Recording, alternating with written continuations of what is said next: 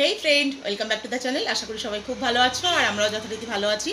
আর এখন বিকাল হয়ে গেছে পাঁচটা বাজে প্রায়, তাই সবাইকে জানাচ্ছি আমাদের তরফ থেকে গুড ইভিনিং আর এই প্রচণ্ড গরমে ভাবছি আজকে একটা স্পেশাল লস্যি বানাবো, আর সেটাই তোমাদের সঙ্গে শেয়ার করব।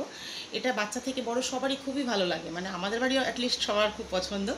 তাই ভাবলাম আজকে তোমাদের সঙ্গে এটা শেয়ার করি। যদি তোমাদের ভালো লাগে অবশ্যই আমাকে জানিও কমেন্ট করে। আর একটা কথা, যদি আমার চ্যানেলের রেসিপিগুলো হোক বা আমার চ্যানেলের যত ভিডিও বা ব্লগ যাই দেখো, যদি তোমাদের ভালো লেগে থাকে, তো প্লিজ আমার চ্যানেলটাকে সাবস্ক্রাইব করে নিও। আর চলো তাহলে তাড়াতাড়ি করে লস্যিটাকে ঝটপট বানিয়ে ফেলি। তো আজকে আমার এই চকলেট লস্যি উইথ আইসক্রিম বানানোর জন্য কি কি লাগছে তোমাদের দেখিয়ে দিই। এখানে লাগছে চকো সিরাপ তোমরা চকলেট মেল্ট করে নিলেও নিতে পারো, অসুবিধা নেই, টক দই আর চিনি। গুঁড়ো চিনি হলেই ভালো। একটু coffee cocoa powder ice cream আর কিছু কাজু আর আলমন্ড কুচি। আমি খুব ভালো মিহি করে কুচাতে পারিনি মোটামুটি একটুখানি উম, মোটা মোটাই হয়ে গেছে কোচানোটা। যাক আর মিক্সিটা লাগছে তো মিক্সির বড় জারটাই নিয়ে নিয়েছি। এবার এটাকে আমি বানিয়ে ফেলি ঝটপট চলো। তো প্রথমে আমি এটা মাদার ডারি টক দইটাই আমি নিয়েছি কারণ এটা বেশ গাঢ় হয় অনেকটা। তার জন্য এটাই আমি লস্যি বানালে এটাই ইউজ করি সাধারণত। তো এটার দুটো প্যাকেট মানে পাঁচশো গ্রাম মতো নেওয়া হয়েছে টক দই। আর এটা আমরা খাচ্ছি হচ্ছে চারজনা। তো চারজনের জন্য পাঁচশো এনাফ ঠিক আছে? তো টক দইটা দিয়ে দিলাম। এবার এর ভেতরে গুঁড়ো চিনি মানে তোমরা করলে গুঁড়ো চিনিটাই ব্যবহার করবে, এটা খুব ভালো। আমার কাছে আজকে ছিল না বলে আমি একটু মানে গোটা চিনি দিচ্ছি, আর দিলাম একটু কোকো পাউডার। খুব বেশি নয়, প্রত্যেক গ্লাসের জন্য মোটামুটি ফুল এক চামচ নয়, এক চামচের একটু কম দিলেই হবে।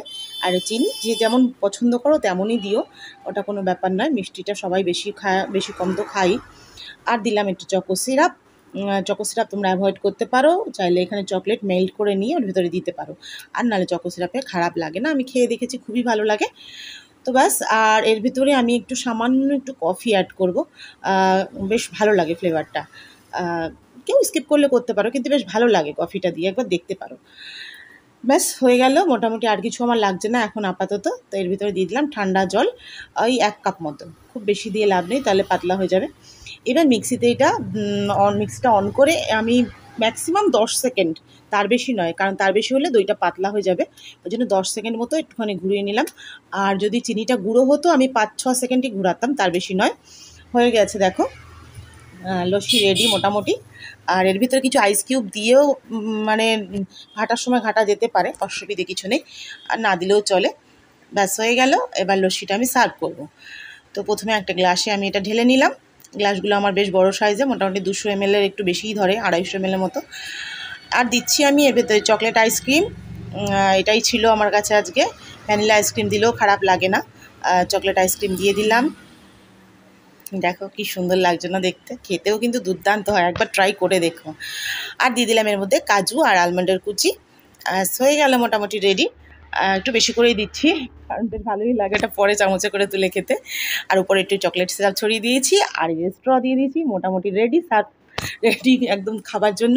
তো চলো, তোমরাও খেয়ে নাও ঝটপট। তো দেখা হচ্ছে নেক্সট ব্লগে ভালো থেকো সবাই।